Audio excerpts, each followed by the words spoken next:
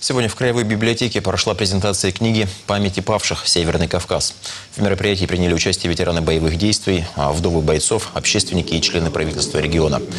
В этом издании очерки о 189 солдатах и офицерах из нашего края, не вернувшихся с полей сражений. Создать книгу предложила Общественная палата ветеранов. Инициативу поддержал губернатор Виктор Толоконский. Материалы искали и систематизировали журналисты местных газет. Они записывали истории, рассказанные родными и близкими героев, делали копии документов и фотографий. Это уже вторая подобная книга. Первая была посвящена российским воинам, погибшим в Афганистане. Новое издание отправят в войсковые части края, а также в библиотеки и в школы.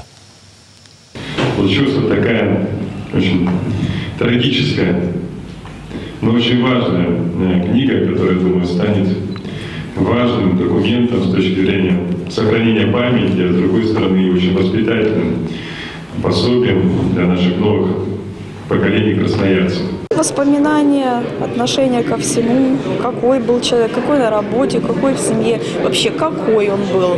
Вот что, ну, естественно, какой. Хороший, хороший был, замечательный человек.